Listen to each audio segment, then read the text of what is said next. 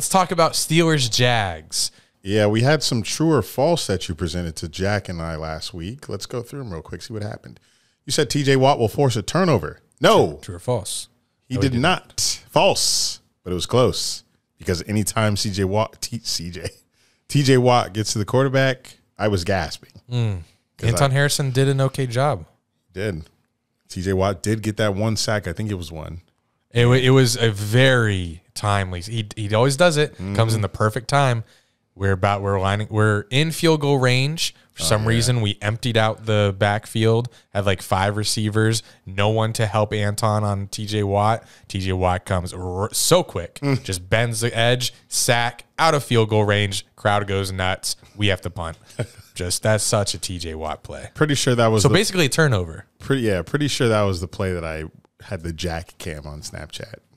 So yeah, I, I mean, I told Jack after that, I was like, I know we're looking for a turnover. That's basically a turnover. We had three points there. That's he just kicked us out of field goal range. We had the punt. Punt went in the end zone. They're on the twenty yard line. So we, that was only basically a twenty yard net punt.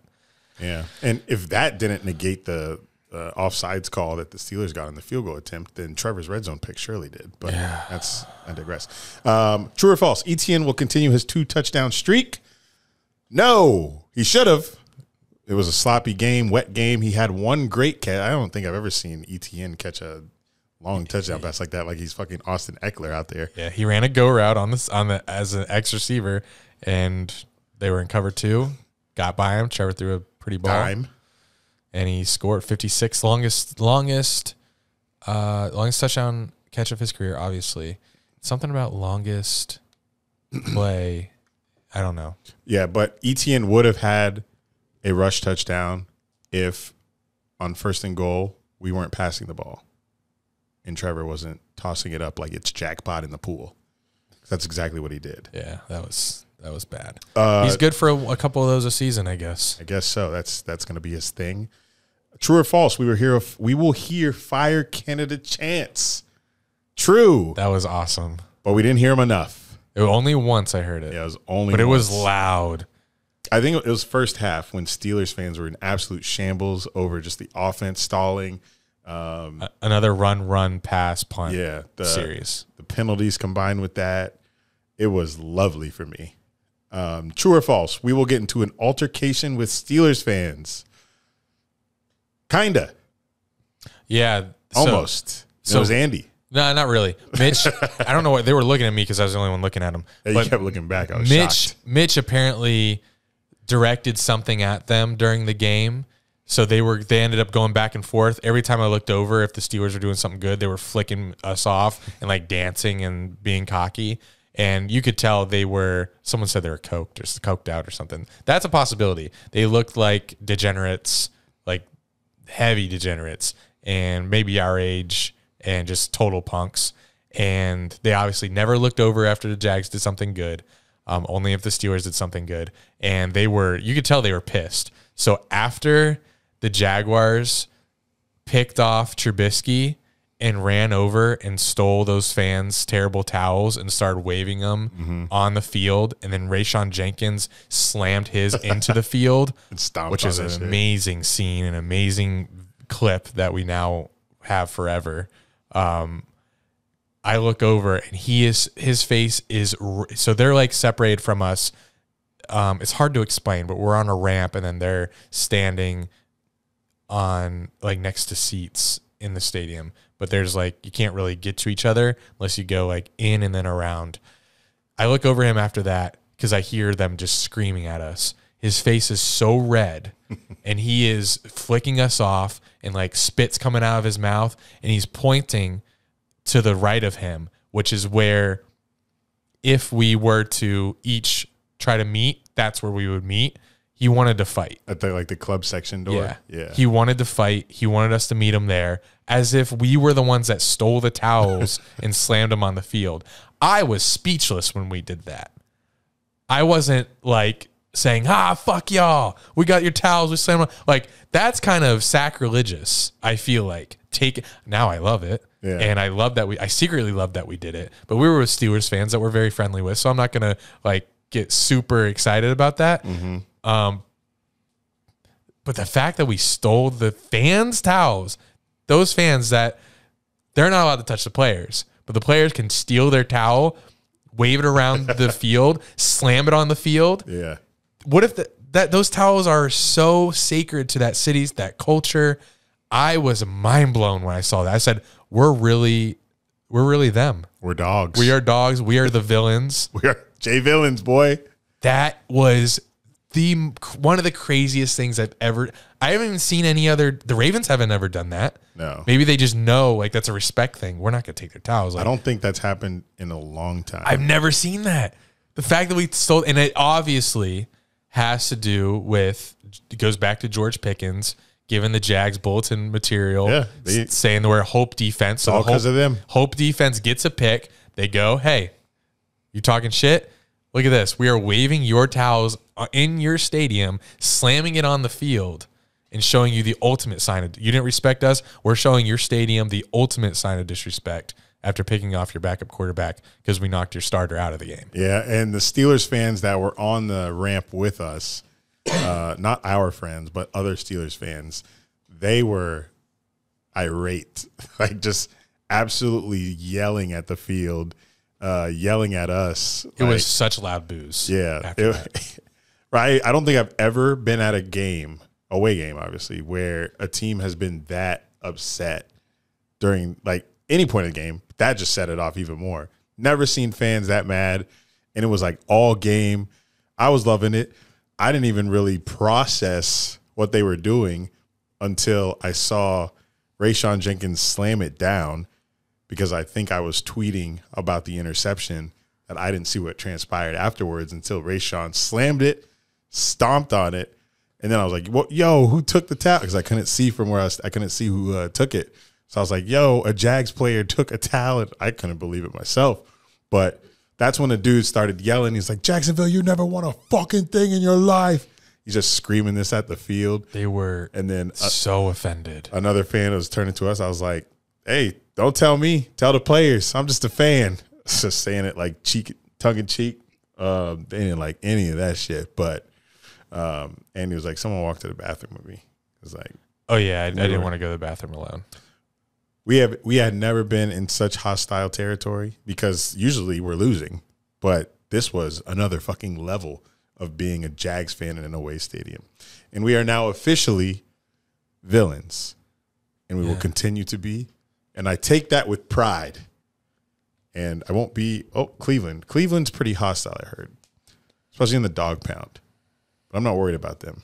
I was more worried about the Steelers. But that was that was wild, insane. I, I would say I would say it was insane. Yeah, my was my mouth was wide open. I was did not believe what I was seeing, um, and I think this could possibly be. I mean, Jags fans have always looked at the Steelers as a hated team, but did the Steelers ever look at us? Maybe, maybe since we beat them a couple times in 07 and in the playoffs, a couple times in 17, including the playoffs. Only team to ever beat the Steelers in Heinz Field twice in one season, and we did it twice in two different seasons. Um, if the Steelers didn't respect us as a rival until now, maybe they do now. Um, it helps a rivalry if you guys are always playing each other, but i unless the Steelers keep winning their division, looks like we will be. Um, it's going to be hard for us to play each other very often, once every four years. Mm-hmm. Um, so I would love for this to be a yearly rivalry because it looks like a juicy one if it was, um, but uh, might not play each other enough for it to be a ri- real rivalry. Yeah, I was asked if I would come back. Like when we were walking out of stadium, I was asked if I would come back again, uh, and I was like, "Yeah, for a playoff game, I'd definitely go back there." Can you imagine the scene there for a playoff game? Um, but thoughts on the game? Only thing that could have made this day better would have been some sunlight. Everything, I think, everything else was perfect for me. Even, even the little bit of rain that we got, I was my hands were cold, but whatever. It was Glasses were covered in raindrops. yeah, I wasn't Sucks. I wasn't cleaning my glasses at all because they would just got covered with rain. But um, ten times better than the Philly game last year, so I was I was content.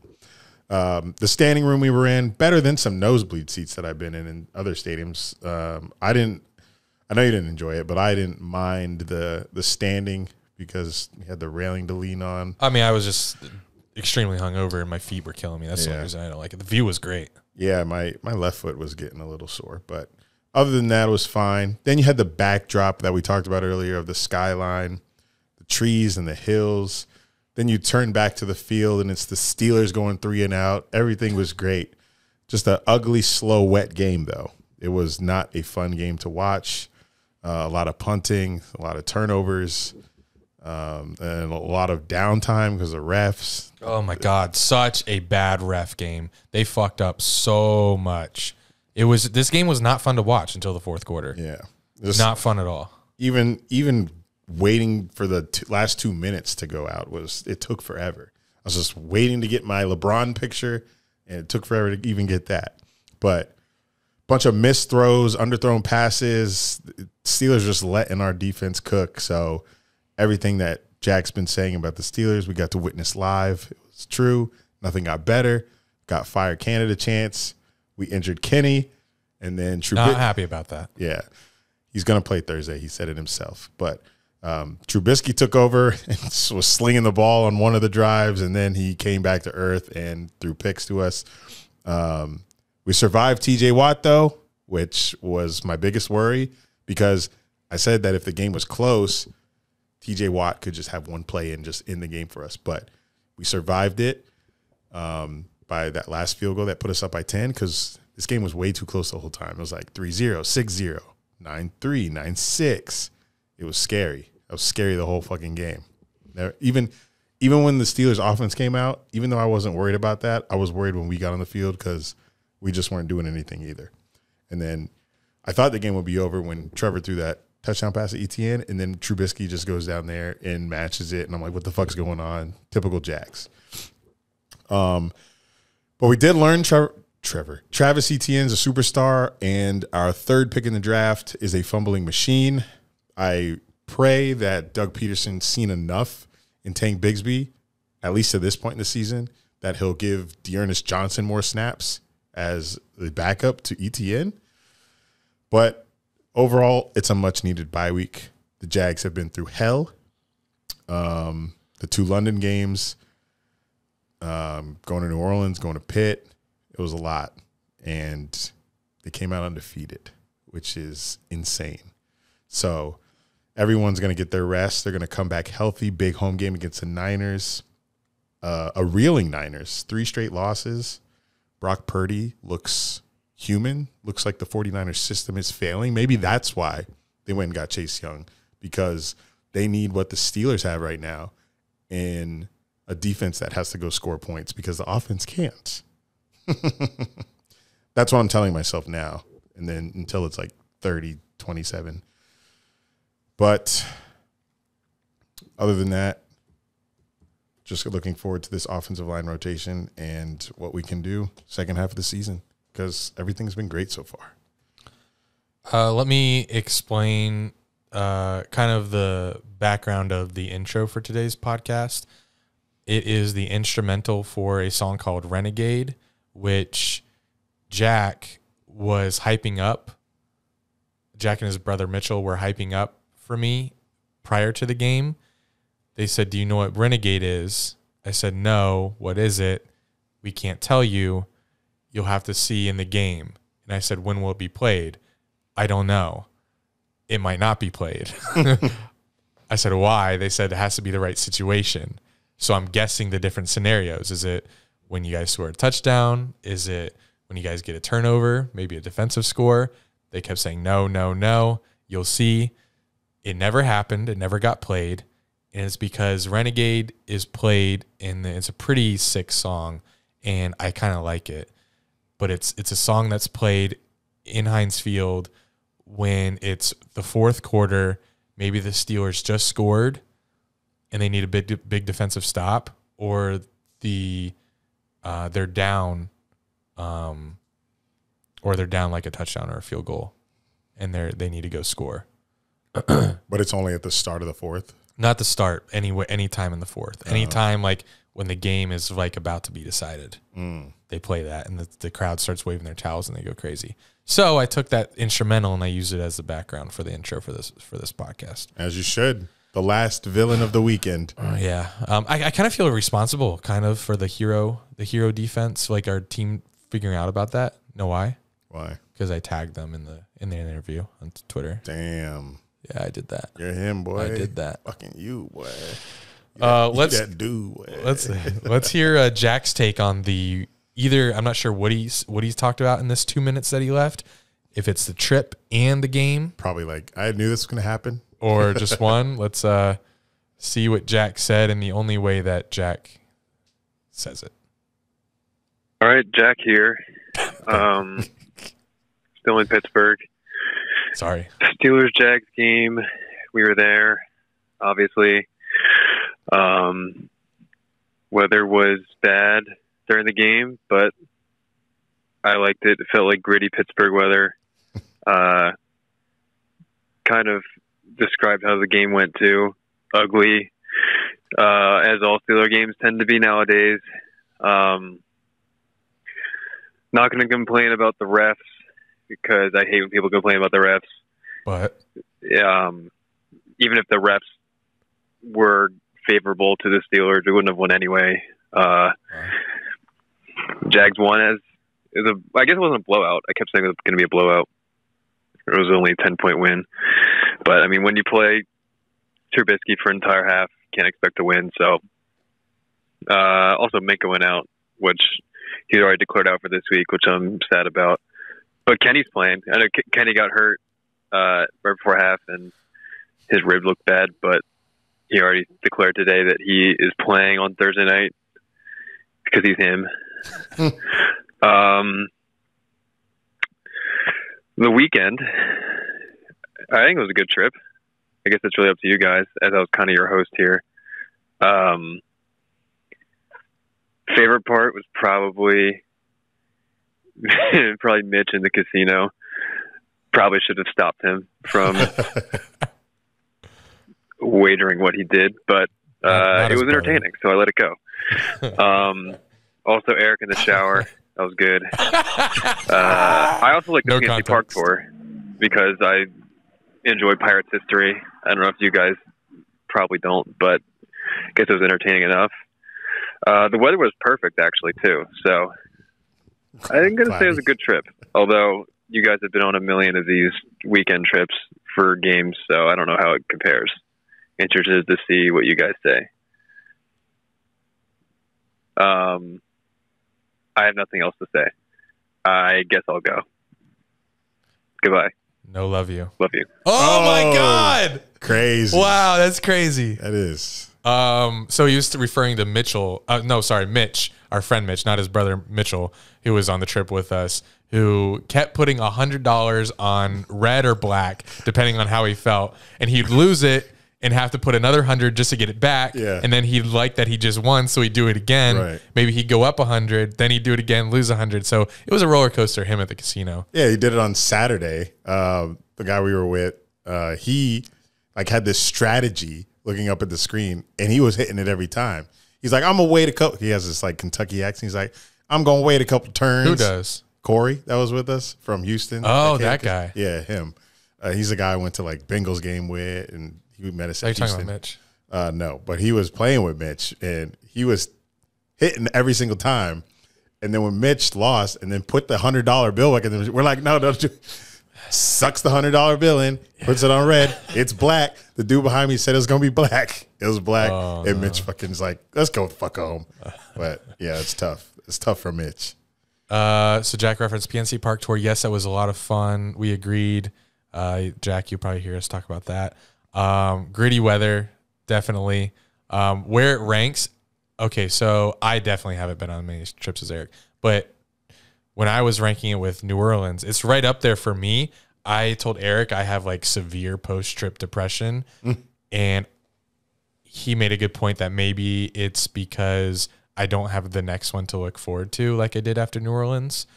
And I I think that's the case. I, I am a fan of being with a small group and it kind of you get to bond more and I like that aspect of this trip a lot and the city was a lot more aesthetically pleasing. It was different. It's hard. They're just completely different trips, so it's hard to compare. New Orleans was a party trip, and I had a lot of fun partying. And but Pittsburgh was more, I guess, more wholesome of a of an outing. And I'm also a sucker for that. Like I said, as a romantic comedy. Um, yeah, I will look back on this trip very fondly. Yeah. Um, I think I, I might put it above New Orleans. I'm not sure. as far as someone asked me, as far as stadiums, it's top five for me. Uh, I for these away trips, I'm usually not with friends. I usually like go solo and then meet Jags fans out there. So this trip, New Orleans, I'm trying to think. Uh, oh, I went on. I went to Cincinnati for a BCB trip, but I didn't have many friends go to that either. So a lot of the times, I'm just out there wandering solo and whatever happens in my experiences happens. So it's a nice change of pace to have, you know, a lot of friends actually go out to the ones that I go out to these last two trips. So they're definitely up there for me in terms of that, the camaraderie and having people I know out there with me. But um, as far as the stadiums, yeah, there's there's definitely better cities and stadiums that I've been to. But Pittsburgh, I, I told somebody Pittsburgh's definitely top five. New Orleans, I wouldn't put in the top five as far as the stadium experiences. Um, just because I'm in love with Seattle. Seattle's just Seattle's the only stadium that I've been to where they stood all game. They never sat down. Didn't matter if it was dead ball. Didn't matter if they turned it over. I don't think they did. But Did they get louder than New Orleans? it's New Orleans is tough to be louder than just because that that dome just makes everything bounce off and smack you back in the face. So it's hard to remember. Seattle was very loud. I just can't remember in comparison to New Orleans because it was 2021 and my brain has been through a lot. But the top three definitely are Saints, um, Seattle, and Kansas City. But had a fun time in Pittsburgh, but my three day max was met. I was ready to go.